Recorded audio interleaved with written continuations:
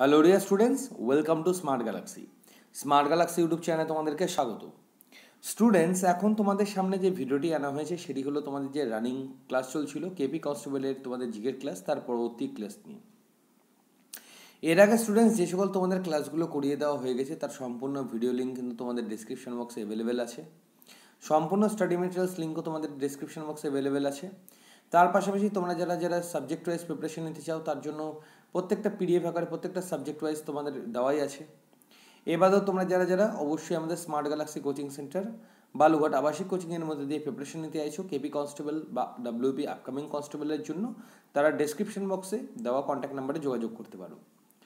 তো একদমই সময় নষ্ট না করে শুরু করতে চলেছি আজকে সকাল নটার প্রতিদিনের লাইভ ক্লাস তোমাদের আজকে যে চ্যাপ্টারটি নিয়ে আলোচনা করা হবে, সেটা হলো নদী। নদী সম্পর্কিত কিছু কিছু তথ্য তোমাদের আজকে আমি তুলে ধরবো, যেগুলো কিন্তু তোমাদের আগামী পরীক্ষার জন্য খুবই খুবই গুরুত্বপূর্ণ হয়ে দাঁড়াবে। সবার আগে আলোচনা করব গোদাবরী নদী। এটা হলো দক্ষিণ ভারতের সর্ববৃহৎ নদী। একে দক্ষিণ ভারতের গঙ্গা বলা হয়। মোস্ট ইম্পর্টেন্ট কথা এটা হ্যাঁ? দক্ষিণ ভারতের কাকে গঙ্গা বলা হয় সেটা হলো তোমাদের গোদাবরী।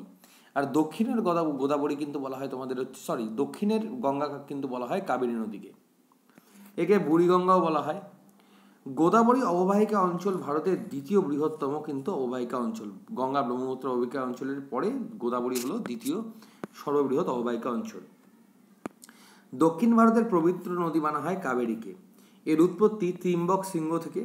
নিজাম সাগর বাঁধ এই নদীর উপরে তৈরি হয়েছে, সেটা হলো তোমাদের কাবেরী নদীর উপরে। এই কাবেরী নদীর উপনদীর নাম হলো মঞ্জিরা এবং ভারতীয় উপদেশের সর্ববৃহৎ নদী যদি বলা হয়, তাহলে কিন্তু সেটা অবশ্যই হবে গোদাবরী। এবার আসি তোমাদের কৃষ্ণা। কৃষ্ণা হলো তোমাদের বারোশো নব্বই কিলোমিটার এবং এর উৎপত্তি স্থল হলো মহাবালেশ্বর শৃঙ্গ থেকে। যেটুকু পয়েন্ট তোমাদের যে যে টপিকের উপরে আলোচনা করে দিচ্ছি আমি, শুধুমাত্র সেইটুকু টপিকটা সেই সেই টপিকের উপরে তোমরা পড়ে যেও। আশা করছি তোমাদের আর ভবিষ্যতে কোনো রকম কোনো প্রশ্ন বলে কোনো কিছুই আর থাকবে না। দক্ষিণ ভারতের দ্বিতীয় বৃহত্তম নদী কিন্তু কৃষ্ণা নদী এবং এই নদীতেই পাখির পায়ের মতো বদ্বীপ কিন্তু দেখতে পাওয়া যায়। পাখির পায়ের মতো বদ্বীপ তাহলে কোথায় দেখতে পাই আমরা? কৃষ্ণা নদীতে।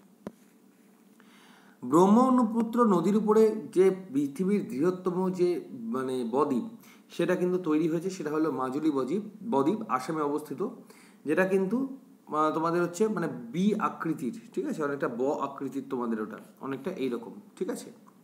ব্রহ্মপুত্র নদীর অপর নাম হলো লাল নদী, এর উপনদীর নাম হলো লোহিত, ওই জন্য এর অপর নাম তোমাদের লাল নদী বলা হয়।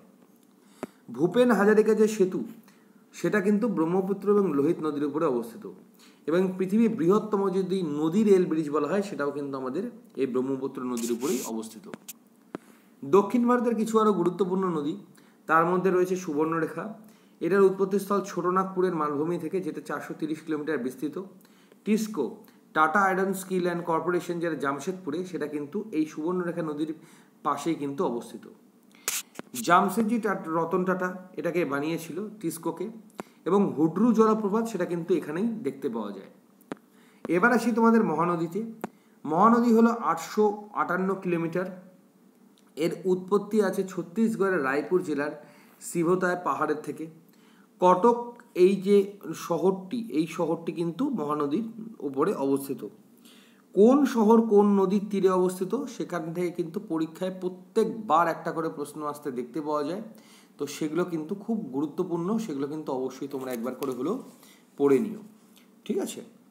নেক্সট যে টপিক নিয়ে আলোচনা করব সেটা হলো, গঙ্গা নদীর দৈর্ঘ্য পশ্চিমবঙ্গে যতটা গেছে সেটা হলো পাঁচশো কুড়ি কিলোমিটার। গঙ্গার মোট যে আমাদের ভারতবর্ষের মধ্যে প্রবাহিত হয়েছে, তার মধ্যে পাঁচশো কুড়ি কিলোমিটার কিন্তু আমাদের ভারত, পশ্চিমবঙ্গের মধ্যে দিয়ে প্রবাহিত হয়েছে। অলকানন্দা যেটা, সেটা কিন্তু বদ্রীনাথ পাহাড় থেকে উৎপত্তি।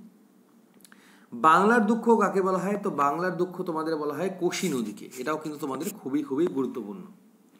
পৃথিবীর বৃহত্তম বদ্বীপ অঞ্চল কোনটা? সেটা হলো গাঙ্গেয় ব্রহ্মপুত্র বদ্বীপ অঞ্চল।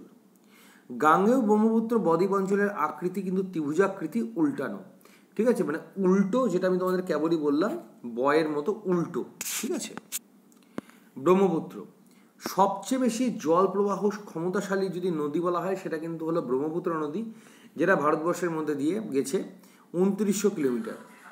এর উৎপত্তি তিব্বতের মানস সরোবরের চেমুংদুং হিমবাহ থেকে।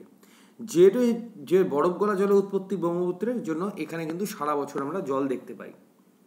এবার বিভিন্ন স্থান, যেমন সাংপো, সেটা কিন্তু তিব্বতে অবস্থিত, শিহং, সেটা উত্তর অরুণাচল প্রদেশে, বিদং সেটা হলো দক্ষিণ অরুণাচল প্রদেশে ব্রহ্মপুত্র, সেটা হলো আসামে মেঘনা, সেটা হলো তোমাদের বাংলাদেশে এবং পদ্মা এবং মেঘনা দুটো মিলিত হয়ে যে যমুনা নদীর উৎপত্তি হয়েছে সেটাও কিন্তু তোমাদের বাংলাদেশে অবস্থিত। এবার আসছি পরবর্তী ফ্যাক্ট নিয়ে, যেটা গঙ্গা। গঙ্গার উৎপত্তি হয়েছে গঙ্গোত্রী হিমবাহের গোমুখ গ্রহ থেকে, এটা উত্তরাঞ্চলের কাশী জেলা থেকে তোমাদের উৎপত্তি হয়েছে।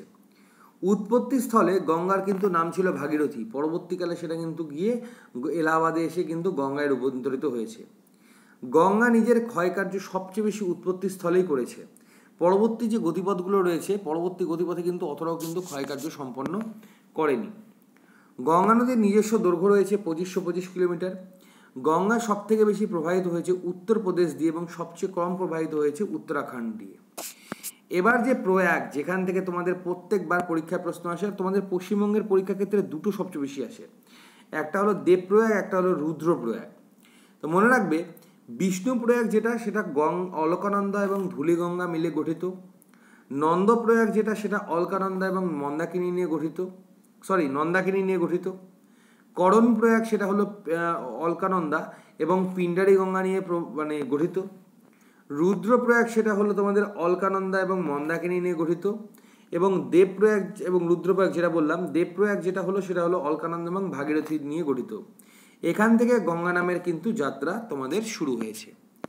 এবার চলে আসছি তোমাদের ফারাক্কা ব্যারেজ, যেটা কিন্তু মুর্শিদাবাদের ধুলিয়ানে অবস্থিত, যেটা হলো দুই পয়েন্ট দুই কিলোমিটার এবং এখানে টোটাল কিন্তু একশো নয়খানা কিন্তু গেট বর্তমান রয়েছে। ঠিক আছে, স্টুডেন্টস?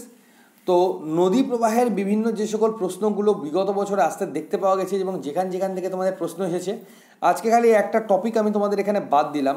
সেটা কোন নদীর তীরে কোন কোন শহর অবস্থিত যেটা আমি নেক্সট দিন তোমাদের সামনে আলোচনা করে দেবো। তা আমাদের যে সকল প্রশ্নগুলো নদীর উপর থেকে জেনারেলি এসে থাকে, সেগুলো আমি বেসিক কনসেপ্টটা তোমাদের দিয়ে দিলাম। আরও কিছু প্রশ্ন আছে তোমাদের, যেমন হচ্ছে কোন বাঁধ কোন নদীর তীরে অবস্থিত? হুম, জলপ্রপাত। আর শহর, এই সকলগুলো, এগুলো তোমাদের স্ট্যাটিকের পার্ট চলে আসবে নদীর উপরে। সেই পার্টটাও পরবর্তী তোমাদের ভিডিওতে যখন নদীর চ্যাপ্টার নিয়ে আলোচনা করা হচ্ছে, সেই চ্যাপ্টারে তোমাদেরকে ডেসক্রিপটিভ ওয়েতে সম্পূর্ণ বিষয়টা অ্যানালাইসিস করে দেবো। তো আজকের যে ক্লাসটা ছিল, আজকের ক্লাসটা ছিল এতটাই। তোমরা এগুলো কিন্তু আবারও বারবার বলছি, এগুলো কিন্তু নোট ডাউন করে নিও। এগুলো কিন্তু পরীক্ষার আগে তোমাদের জাস্ট এগুলো একটা নোট হয়ে তৈরি হয়ে থাকবে। এগুলো তোমরা করে নিও, তোমাদের কিন্তু পরীক্ষার আগে একটা হিউজ একটা কনসেপ্ট একদম ক্লিয়ার হয়ে যাবে। ঠিক আছে? তো স্টুডেন্টস আজকের ক্লাসটা এতটাই। অবশ্যই ভিডিওগুলো যারা নতুন দেখছ, অবশ্যই চ্যানেলটি সাবস্ক্রাইব করে নিও নোটিফিকেশান বেলটি অনের মধ্যে দিয়ে। এবং ভিডিওগুলো কিন্তু স্টুডেন্টস তোমরা ভুলো না, একবারের হলেও শেয়ার করতে।